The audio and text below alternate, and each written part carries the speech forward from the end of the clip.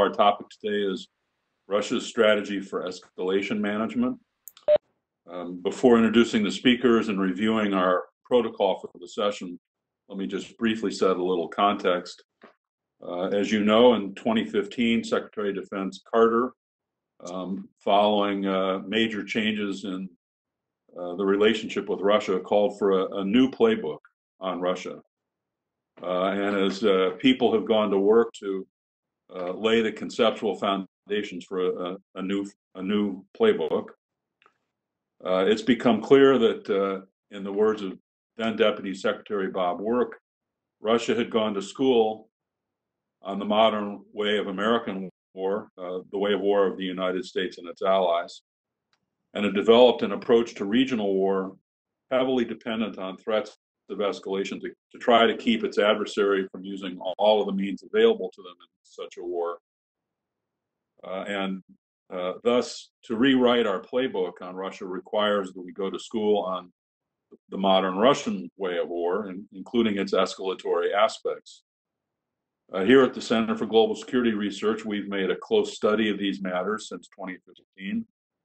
Uh, we've followed closely the work of other institutions and tried to bring the, the best of their work to the laboratory community. Uh, in recent years, the Center for Naval Analyses has, has carved out a leading role on this topic. Uh, it has resurrected a Russian studies program uh, that had shuttered in the 1990s. Uh, and we're fortunate today to have two of the leading members of the Center for Naval Analyses team to discuss their newest work on this topic. Um, Michael Kofman is director of the CNA Russia Studies Program. He also serves as a fellow at the Kennan Institute of the Woodrow Wilson International Center and as a senior editor at War on the Rocks. He holds a master's degree from Georgetown University School of Foreign Service. Uh, Dr. Anya Fink is a research analyst with CNA's adversary analytics team. Uh, she's also a member of the Russia Studies program at CNA. Uh, and she completed her doctorate in the School of Public Policy at the University of, of, of Maryland. Uh, before turning to them for their opening remarks, uh, a few rules of the road. as you all know, we're using the WebEx conference format. That means that the audience has come in muted and not projecting video. Uh, this helps us, of course, to preserve bandwidth for the for the the main attraction. Uh, some, perhaps many of you, will want to put questions to the speakers upon conclusion of their remarks. Uh, as you probably know from WebEx, there are three different ways to do this, but we're only using one today, uh, and that's the chat function. So if you'd like to join the conversation, uh, please send uh, a note with with your question. Don't raise your electronic hand. Uh, don't submit to the Q&A function. Uh, just uh, send a, a, chat note uh, and be sure to select uh, that you're sending the note to all the panelists. Uh, the host is the technical host. I'm not the host. I'm just the, the chair. when our speakers have finished, I will put the questions to them on your behalf. so that you're all aware, the speakers' remarks are being recorded today, not not to follow on Q&A, uh, but the, the presentation itself will be uh, posted at the CGR website for broader viewing uh, upon conclusion of the vetting process. So without further ado, uh, Michael, Anya, thanks so much for joining us. Thanks so much for making the time to do this. This is really interesting and well done work, and we're grateful for the opportunity to learn about it. Over to you. Thank you. Yeah, thanks for that uh, kind introduction, Brad, and thanks for the invitation to speak with you today. Um, let's see, I'm going to share uh, our PowerPoint presentation, which hopefully will work alongside with what we have to say here. Let's see if that that comes together. Is that working? Yes. It is, yes. That's great. And I can scroll both the notes and looks like I can scroll for the PowerPoint presentation. Excellent. Okay, great. Okay, um, so let me first kind of open up.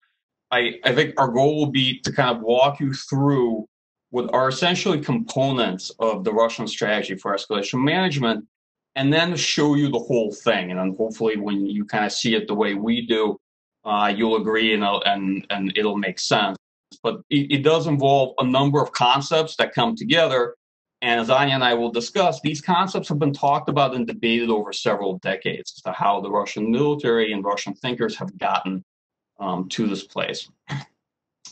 And, and just to be clear, uh, this project was uh, originally sponsored and funded by EUCOM RSI and sort of the result of about a year's worth of work. Let me uh, first begin to kind of explain the Russian problem statement. Why does Russia need a, a, theory of escalation management or limited nuclear war? In fact, why do they have some of these concepts and have thought about it, and we maybe have not? Uh, Brad, I think, had a great opening on that and has great writing on that subject. But let me make a couple brief points here. First, so the Russian thinking started out with the uh, the promise of how you deter a conflict during a threatened period of war and to prevent the conflict that starts from escalating across several war archetypes. And the war archetypes we're going to use repeatedly in our conversation from the Russian perspective are local war, which is a single war with a bordering country like Ukraine, Georgia. A regional war against a coalition of states, which is the minimum sized war that Russia envisions with NATO, as any coalition of states, perhaps backed by another great power like the United States in a large scale war, which is a multi theater war against a global force like the United States, essentially a larger conflagration um, from which uh, the regional war escalates into. Okay. Second, address the challenge posed by the precision revolution, right, which essentially, from Russian perspective, made conventional weapons strategic. And the Russian military has been grappling for decades now with the threat of mass aerospace attack by a technologically superior power like the United States, which is principally an expeditionary aerospace and maritime power and understanding that this attack could be conducted directly from the US homeland without even need for European basing. Third, the conclusion they had reached was that defense is fundamentally cost prohibitive. Okay, it is possible, but to degrade such an attack, but it's incredibly challenging and cost prohibitive for Russia to be able to do so. And that Russian general purpose forces, the regular conventional military, cannot deter a power like the United States, right? Therefore, deterrence must be cost based. And you need preemptive measures to neutralize the threat early, right? That is, if escalation is inevitable, if conflict is inevitable, then Russia should lead in it rather than retaliate after assuming a very substantial strike and, and considerable amount of damage. Next, the Russian view is that conventional weapons, the kind the United States uses, here we're thinking about long range standoff precision weapons, can inflict unacceptable damage to the Russian economic and military infrastructure. And that fundamentally places Russia in escalation dilemma. This is starting from the 90s that had to be resolved. That is, Russia was left with a choice of mass nuclear retaliation in response to a precision conventional attack, and not much in between given the state of its general purpose forces. So a lot of that escalation management strategy and thinking on limited use of nuclear weapons came out of that escalation dilemma that began in the 1990s from the Russian perspective. And the last point Russian military does believe that intra-war deterrence, escalation management, is possible. Okay, and that calibrated use of conventional weapons or nuclear weapons may not lead to uncontrolled escalation. And here we have intellectual departures from how the late Soviet Union thought about nuclear use to how the Russian be- military began thinking about nuclear weapon use and what kind of escalation it would or would not result to starting in the latter 90s. Now, let me sort of take us start start uh, uh, down the topic of key Russian concepts and the key components of Russia's strategy for escalation management. The first is strategic deterrence. This is a formally adopted concept that's refereed. It's not just a Russian military thinking uh, uh, idea or or set up, deba- uh, set up debates. It's formally uh, in existence in national security strategy, military doctrine of Russia. So the official Russian Ministry of Defense, sort of dish in military terms, defines strategic deterrence as a system of forceful military and non-forceful non-military measures intended to restrain the other side from employing force against the Russian Federation, particularly on a strategic scale, right? The strategic deterrence measures are used continuously in peacetime, not just to deter, but also to contain, but in wartime for the purpose of escalation management. So this answers three problem sets, but we're going to focus on a couple of them. One is peacetime containment of the United States, which is not the interest or focus of this presentation. The second one is deterrence in a crisis scenario that is during a period of imminent threat or danger, a direct attack against Russia. And the third is escalation management once conflict has begun and the measures that, that need to be taken by the Russian side to manage escalation. It breaks down to forceful and non forceful means, but the Russian military understands and is principally talking about the forceful side of the equation, which is the right box, the military means. And here you can see it broken out into non-nuclear means and nuclear means, right? And the non-nuclear ones involve a set of what Russians believe to be um, what you could call strategic conventional deterrence or non-nuclear deterrence. These range from long-range precision-guided weapons, cruise missiles, and the like, to directed energy weapons, and from a Russian perspective as well, strategic defensive things like integrated air defense, missile defense, and the like. Right. All right. So um, the military measures that we will discuss fall into principally two categories. I'm going to walk us through in a bit here. One is fear inducement, dissuasion to induce restraint, and the other one are basically limited uses of force or calibrated forms of coercion, right, that provide flexible options once conflict has begun. Um, let's talk about the deterrence framework that comes out of this. There we go. Excellent. Okay, I'm going to spend a little bit of time on the slide. So to kind of express how Russian military and national security establishment tends to think about deterrence and the key frameworks that they apply uh, to this conversation. First, um, the levels of deterrence. So there are two principal levels. There's a third one that's now emerging, but the two big ones are regional and global, right? And when I think about global, we're thinking about that large-scale war construct, right? A big multi-theater conflagration. And when we're thinking about regional, we're thinking much more of the regional war construct. Is what would deter regional war? And increasingly in Russian discussion, there's also more thinking on the local war that is ways of deterring a conflict with one country from uh, escalating into a regional context. Okay. In regional deterrence, the Russian view is that the application is a mix of strategic conventional weapons and non-strategic nuclear weapons, right? With some role that is always advocated by strategic nuclear forces. Okay. In global deterrence, the dominant share is held by strategic nuclear weapons, the strategic nuclear forces in Russia, RVSN, and also large-scale employment of non-strategic nuclear weapons. Local war deterrence is handled primarily by the general purpose forces, which can affect both war fighting and are easily able to deter a local war with a country like Ukraine, and the strategic conventional component of the force. Um, the types of deterrence here, which is covered, deterrence by fear inducement, you can see them on the actual chart, which is deter it's called deterrence to intimidation, but we prefer deterrence to fear inducement. Deterrence to limited use of force, and then the latter is deterrence to defense. Deterrence to defense is really applicable, in my view, only to the local war scenario because the Russian military broadly does not believe that deterrence to defense is viable against the challenges they face from the United States. Because technologically, defense is very hard, and cost-wise, it's just too expensive to try to mount that. Um, the the concept, the way it works, primarily works off of strategic deterrence forces. And to understand the force kind of the Russian military built out is that it has functionally designated the military into broadly two force components. One is general purpose forces, and the other one are strategic deterrence forces.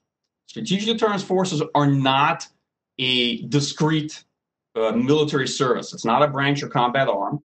It is a functional designation, a way by which the Russian military force generates from all the stuff it has a set of capabilities that it believes will function either as a defensive strategic deterrent or as an offensive strategic deterrent.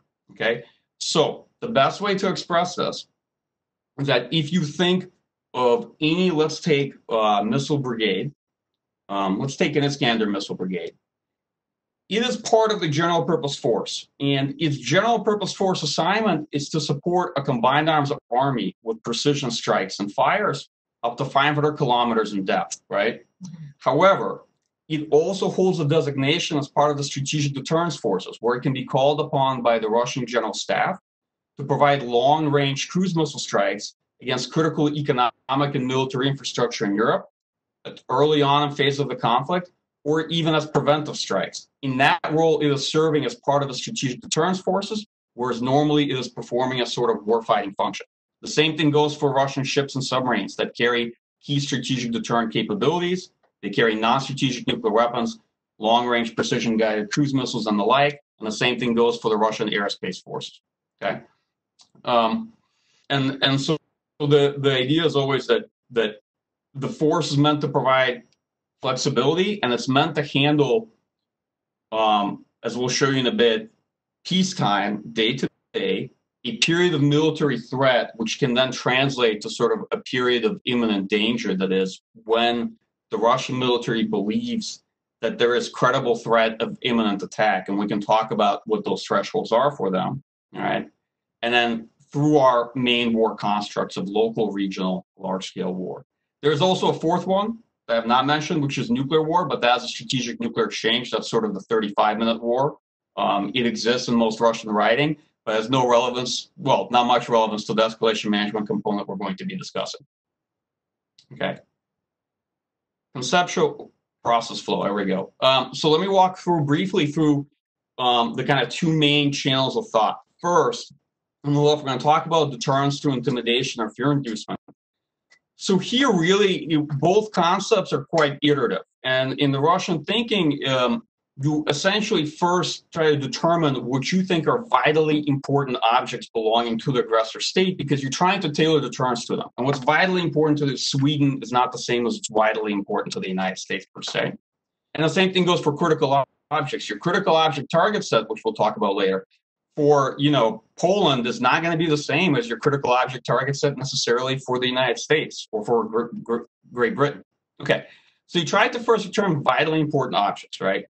These are things that will lead to substantial economic losses or mass damage to population. They are things that um, will threaten uh, both loss of life and way of life.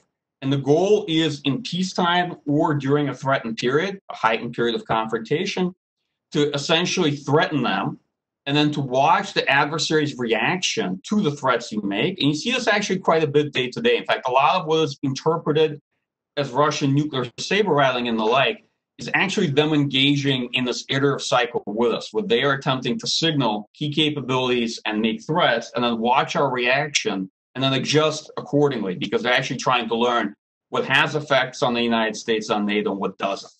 Um, and essentially, you demonstrate the, the ways and means, the ability, your ability to uh, inflict damage against these targets um, and see how the adversary reacts to shape their thinking. Okay, now this is primarily for peacetime, all right? Now let's focus on escalation management as we actually enter conflict. Here we abandon deterrence to intimidation and we switch to deterrence to limited use of force.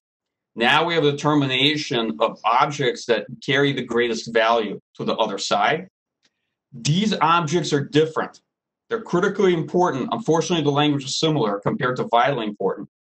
These are objects that will lead to considerable economic losses um, and really affect the way of life. They will target the leadership and population, but they are meant to minimize civilian losses and collateral damage. They are things that will hurt the adversary, but will um, be calibrated to not build their resolve, right? Because everyone understands that if you inflict damage on the population of the other side, it will not lower their resolve, it will actually increase their resolve in a conflict with you, right? So this is basically the infliction with single or group strikes first conventional, and then down the line nuclear, particularly with non-strategic nuclear weapons. You say, what does this look like in real life? I will give you, Iran gave a fantastic example with a critical infrastructure attack against Saudi Arabia the other year. By targeting infrastructure that is economically important, not inflicting collateral damage on any of the civilian population, but most importantly, avoiding any American contractors that might have worked this infrastructure. This is a good example of how a country combining basic cruise missiles and drones is able to do that, understanding that that's a very rudimentary capability compared to what the Russian military can actually inflict today if it wanted to. So just to clear, make clear that this is not a PowerPoint unicorn, we have observed countries doing this sort of thing in real life and attempting to manage escalation from these types of strikes. Um, okay, and I'll, I'll, focus just a bit here then on conventional nuclear integration and make a comment that uh, from Russian point of view, non-nuclear deterrence and nuclear deterrence are fundamentally complementary. The change that's been taking place is that first, there's a strong emphasis on the role of non-strategic nuclear weapons in regional nuclear deterrence in a possible conflagration with NATO. Why? Because general purpose forces couldn't do anything. Conventional capabilities we talk about right now didn't exist at the time. Um, and this was the most sort of cost effective and asymmetric approach in their view to deter. They wanted to build out a number of flexible options on this deterrence ladder, obviously, over a period of time. This has now shifted the role of non strategic nuclear weapons further down into the regional war. Because the Russian belief is they do not need to use nuclear weapons at the outset of a conflict, but as the conflict escalates, they very likely will turn to them for nuclear demonstration purposes, uh, as single strikes against the adversary, as group strikes, so on and so forth. Couple big points here. One, there is an argument from colleagues that say that precision conventional capabilities, they now are displacing non-strategic nuclear weapons or nuclear escalation in Russian thinking on this. I'm going to tell you that that is not true and it will never ever happen. Okay, for a couple reasons. One, Russian military does not intellectually subscribe to the proposition of a conventional only war between pure nuclear powers, especially because this is a dumb losing proposition for them with the United States on a long enough timeline. All right. Two, Russian military does not see conventional capabilities as ever replacing nuclear weapons or non-strategic nuclear weapons and will retain a nuclear warfighting role for a theater nuclear arsenal. Always, forever. That's like basically an assumption.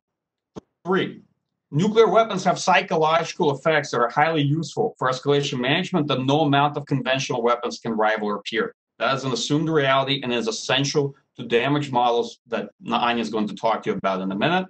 And four, cost wise, they're the best competitive strategy and they cannot be matched. And many in Russian military believe that basically chasing parity in conventional strike asks with the United States is simply a dumb, uncompetitive strategy because they will never have the funding and the resources to do it. Therefore, nuclear weapons offer a competitive asymmetry that's weapons. You know, the for the the which you get the bang for the buck is very high.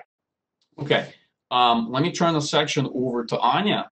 Okay, back. Anya, it would be wonderful if you could talk about uh, damage models. Sure. Uh, thank you so much, Mike. Uh, so Russian military writings are peppered with references to damage levels. Uh, Russian military thinking on damage has evolved uh, from being based on the employment of strategic nuclear forces to encompassing the whole range of strategic deterrence capabilities that Mike discussed earlier. It's also shifted toward ideas of tailoring da- damage levels to the adversary and its population, starting with small levels of damage that could be progressively scaled up for escalation management purposes. And then if that fails, uh, towards going into full-scale warfighting. So uh, Russian military thinking, in short, has evolved from concepts of unacceptable damage that were prevalent during the Cold War to a greater interest in deterrent damage. So during the Cold War, Soviet military analysts, like their US counterparts, sought to understand what type of assured damage they could inflict on the United States with their strategic nuclear forces. And the ability to inflict this damage continues to be viewed as a criterion for retaliatory and retaliatory meeting strikes for Russian strategic nuclear forces today. Uh, however, at the same time, during the 1990s, Russian understanding of unacceptable damage began to evolve from objective measures that relied on metrics of damage of particular target sets, whether they be military, economic, or population target sets, towards more subjective ideas or perception centered ideas uh, about types of damage that would be unacceptable to a potential aggressor. And so this is where the concept of deterrent damage comes from. So it is very important to Russia's ongoing military analytical discourse on escalation management. The idea here is that the concept of unacceptable damage that used to be so prevalent before is connected to absolute levels of loss for an opponent state. And so it is excessive particularly uh, Russia found itself in a situation where it now has strategic conventional capabilities that are also able to create the threat uh, of inflicting damage to vital interests and vitally important objects. While, among other, other means, this also helps to raise the nuclear threshold or increase the duration of the conventional phase of the conflict. Um, they also realized that non nuclear capabilities are also able to achieve coercive effects at various stages of pre conflict. So, in military writings, Deterrent damage appears to range from quite limited and reversible effects on the one end to approaching damage that the opponent can find unacceptable on the other end. So it's tailored and adversary specific, and it can be dosed. Uh, and calibrated amounts of this damage could be applied iteratively as opposed to a singular strike. And they're able to, depending on target selection, also cause cascade effects in an opponent's infrastructure. And so on the slide, you also see two blue definitions from various documents and military writings get into various degrees of specificity when it comes to deterrent damage. So, um, and you see this graphic on the right of the slide that talks about the material component and the psychological component of deterrence. And so you see when the Russian military uh, writings discuss effects of strategic deterrence, they also talk about um, kind of the political implications. And the idea here is that um, the type of damage is able to impact the adversary's will to continue certain actions that the Russian leadership is trying to deter. And so the idea was that uh, this damage will be able to inflict cascade political effects on an opponent coalition. So if you target specific members of a coalition and select critically important objects that are important to those members, that will potentially help these guys uh, get out of the conflict. Um, at the same time, uh, the concept continues to evolve in military writings, and there are indications that there's complexity in how to dose deterrent damage and how to assess deterrent damage levels. So this actually, the, the concepts uh, continue to evolve in Russian military writings, and various military research centers continue to write about how to define this. Okay. So next, uh, let me briefly talk about targeting approaches. So um, over the last several decades, Russian military writings on escalation management have shown efforts to understand what constitutes an opponent's critically important military, civilian, and economic targets. Um, and kind of an effort to understand how a potential opponent could rank these targets. So, what are things that are most important to them? Um, precision guided weapons, together with ISR infrastructure, now allow the Russian military the ability to target key elements of an opponent's critical infrastructure. And so you see in a lot of Russian military writings efforts to break down critical industry systems. Um, for example, information systems, uh, fuel systems, energy systems, space, aviation, et cetera, et cetera, into their component parts with an interest of targeting the kind of the, the subcomponents uh, to achieve effects. And in Russian military writings, the emphasis is placed on targets whose destruction has the ability to create cascade effects for the system as a whole, thus achieving uh, strategic effects. So they talk about weak spots or nodes um, of these systems. And the idea is to manage escalation by creating a specific level of psychological coercion on an opponent's leadership or population that will convince the opponent of futility of continuing further action.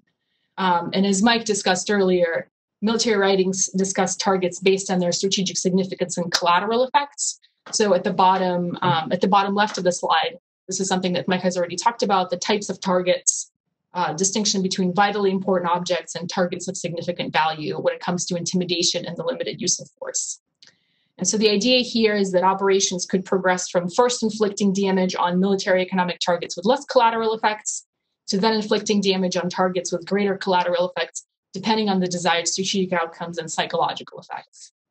So if we um, look at the bottom right graphic here, some Russian military writings also subdivide targets in the following way. So they talk about military active objects, military passive objects, and economic objects. And the same author that provides this division of targets, um, if you look at the chart, uh, the graphic on the top right of the slide, uh, kind of proposes an additional category of unquantifiable targets uh, that you see here in kind of various approaches of targeting leadership and targeting the civilian population. And so this author proposed that these unquantifiable targets, which I'll discuss shortly here, actually could have, could make or break uh, es- escalation management. So the two types of unquantifiable targets he proposes is, the first one is objects that are important to the elites or leadership of the country, such as country homes, trade or industrial assets, or objects of specific relevance to the individuals in, char- in charge.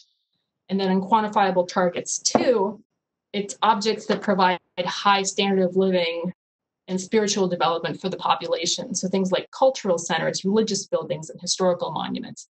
And so this author, for example, was arguing that targeting these things and inflicting damage on them would actually be able to um, help Russia control escalation in the situation. So, but again, this is just one example of how the writings proceed, um, and it's not necessarily representative of current Russian strategy, but at the same time, it reflects these ideas um, of reflexive control, as the Russian military calls it, this idea to try to control your opponent's perception.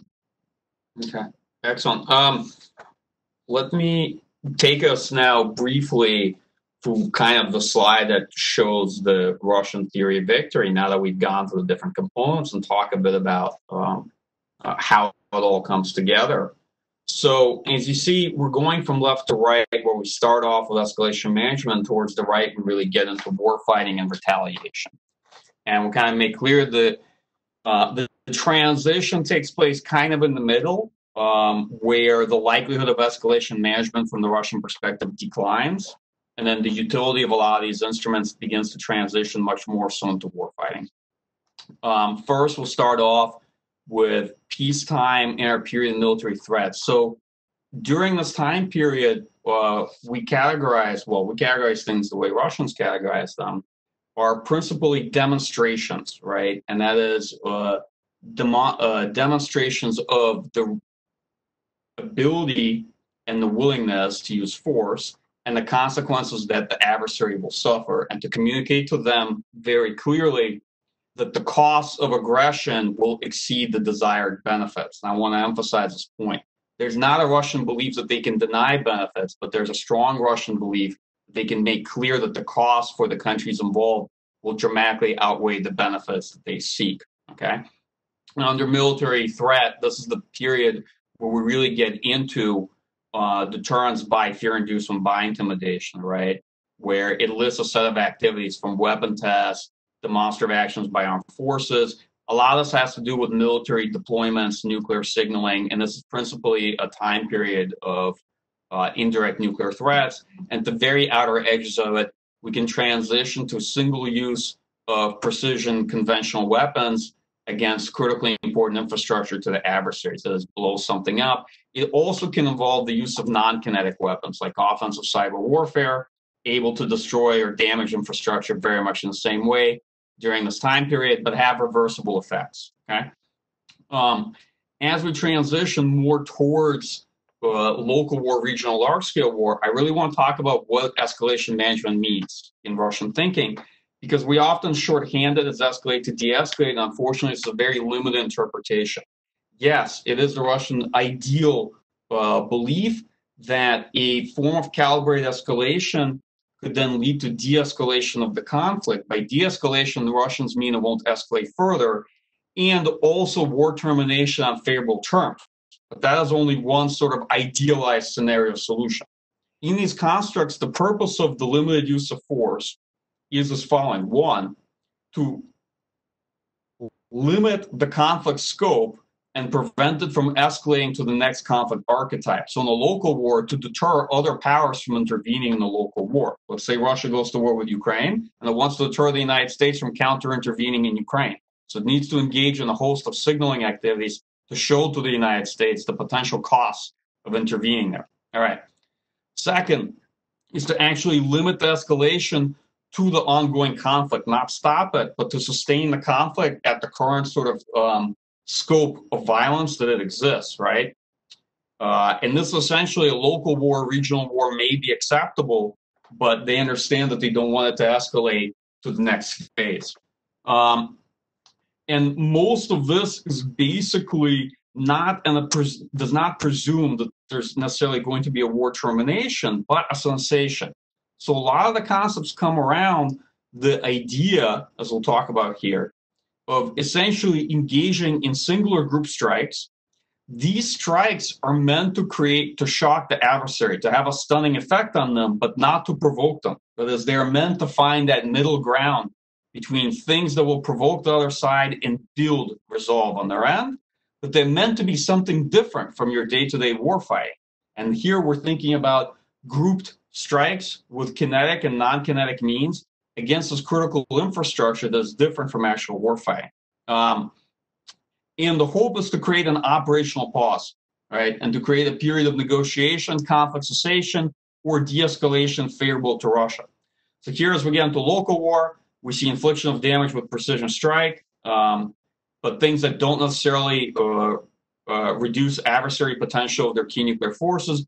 Regional war is where we really see the shift, where conventional weapons have come in at the early phase of regional war, and then non-strategic nuclear non-strategic nuclear weapons are still very much there, very quite prominently as you get into later phase of regional war. And the best way to describe that is that um, you know in Russian thinking, really a conflict between great powers today.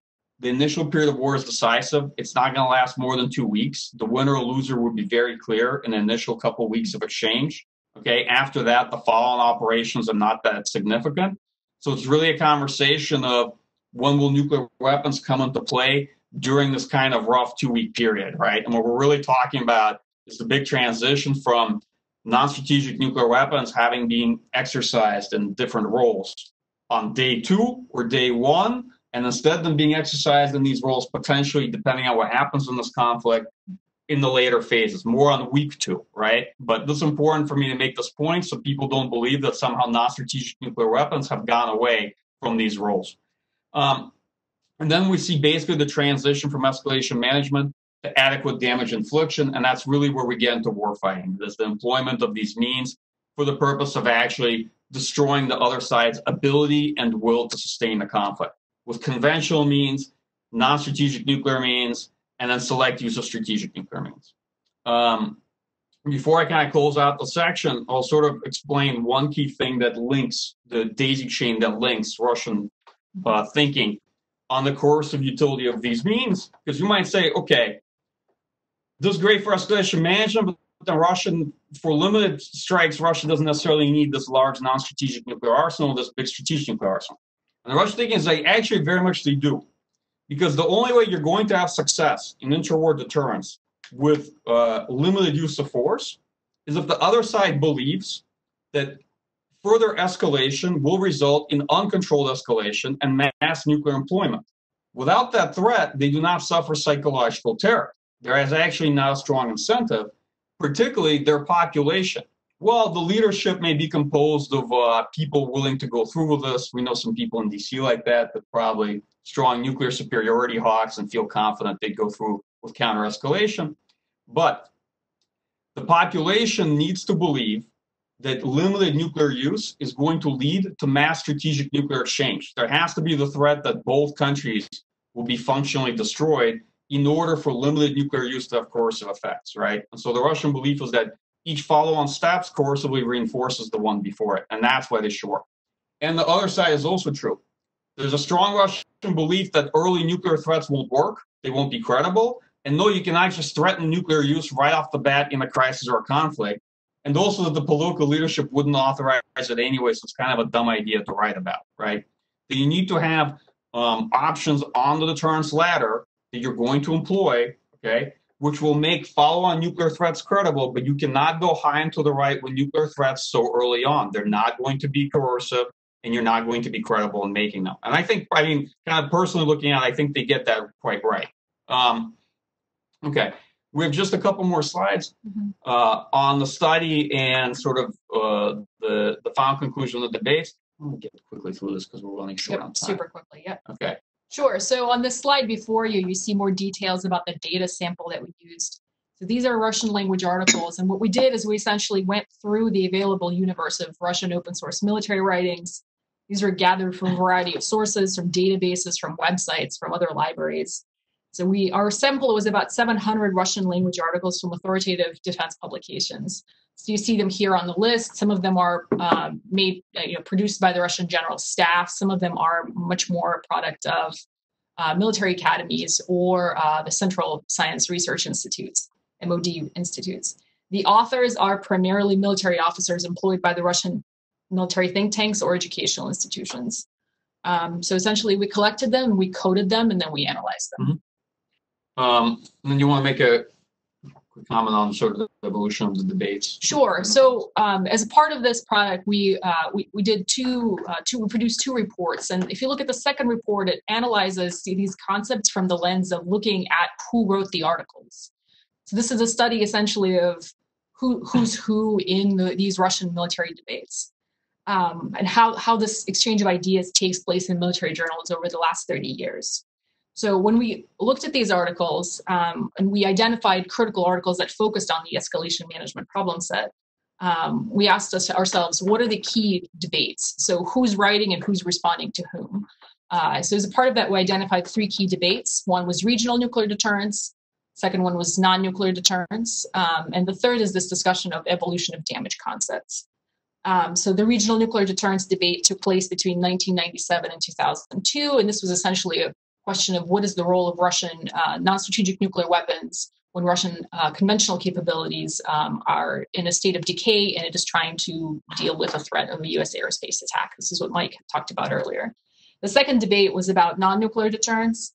It began in the early 2000s and to some extent continues to this day. this question about what do we do with strategic conventional capabilities um, and when are they credible at regional levels. Uh, the third debate was this discussion of damage concepts that I talked about earlier. Um, and uh, if you look at this uh, graph on the right, you essentially see a tracing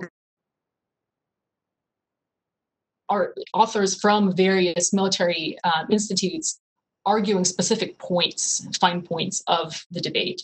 And you see these military institutes range from uh, folks who deal primarily with the rocket strategic rocket forces problem set who argue that no non-nuclear deterrence is never credible you need preemptive nuclear threats. To folks who actually do modeling and planning on uh, russian strategic conventional weapons who plan this out to the degree of target sets and kind of re, you know argue that some of these things will be much more credible if we target things in this specific way. So our findings here um, are threefold one is obviously that Russian strategic conventional capabilities are growing in importance in Russian thinking on escalation management. Some judge them insufficient for deterrence at higher threshold of conflicts, requiring further investments into means to operationalize this concept. Um, the second finding is that um, the role of non-strategic nuclear weapons is not only enduring, but remains prominent in regional contingencies, as Mike talked about earlier. Um, non-strategic nuclear weapons complement the conventional and strategic nuclear capabilities but they're not a substitute. And the third uh, is that Russian military thought has moved away from unacceptable damage as a basis towards concept premised on deterrent damage. Um, and so this approach is iterative, and the desired de-escalatory effect is clear, although opinions diverge still on how best to qualify and define this type of damage. Okay. Um, one like last bit, and just uh, to kind of put the right caveats and context for what we talked about, I think how to think about it. So first, very clear, when we say Russian strategy for escalation management, we're talking primarily about Russian military thinking, and I want to really express why we study this, what we learn, and how to situate it in thinking about what Russia will actually do. The use of nuclear weapons is an expressly political decision in Russia. Okay, it will be decided and it will be um, will be made by the senior political leadership, by the Russian president. Okay, what we study here, first and foremost, really reflects one the courses of action that will be presented to the Russian political leadership and the theory behind why they would work to allow and to create for them flexible options during threatened period of conflict and as the conflict escalates. Two, they shed a lot of ambiguity in they shed light on a lot of ambiguity in formal Russian documents, doctrines which are off course, intentionally written ambiguously. All right. Three, he really expresses to us the theory of victory that the Russian military has and how they got there over the years and the problems they're trying to solve. However, he does not tell us for a fact what the political leadership will do in any contingency. We do know that and do not know that with certainty, and we really dislike it when people read operational planning or strategic operational planning by general staff and then try to translate it and say this is Russian political strategy or political intent. It drives us crazy. So it's important to understand. Second, we do not know the degree of confidence the Russian political leadership has in the efficacy of these plans or the over under that they will work. That is an area of research for us, for us to pursue. What we can say for certain is one, these are not Russian military fantasies. These, these ideas are formally incorporated into national security concepts, which are adopted and signed by Russian political leadership. Two, Russian political leadership frequently speaks on the subject of nuclear deterrence and Russian nuclear force posture in the way that suggests they're highly familiar and know what they are talking about. In fact, I would say in the way quite superior to our own in terms of their familiarity with the topic. And three, Russia engages in regular nuclear exercises in which senior political leadership participates and shows that they actually are going to push the button and are actually there to participate in a host of exercises that Soviet Soviet political leadership rarely participated in which suggests to us that they're much more familiar with what's going on in Russian military thinking than some previous political leadership would. Okay, I raised some questions here on areas of future research and of questions of interrogation from this. Um, but as always, I just wanted to make those caveats as we close out this presentation. I'll turn it over to Brad for uh, Q&A. That was great. Thanks to both of you. Excellent presentations, very interesting work. Uh, let me make clear to the to the group of participants that uh, Michael and Anya are speaking uh, from and, and using a lot of graphics from uh, two reports that they've recently concluded and posted online. So there are a number of comments here about um, whether it's possible to get the slides. And, and the, the two reports are uh, available online for downloading, and they make uh, ex- excellent reading. And I commend them to you.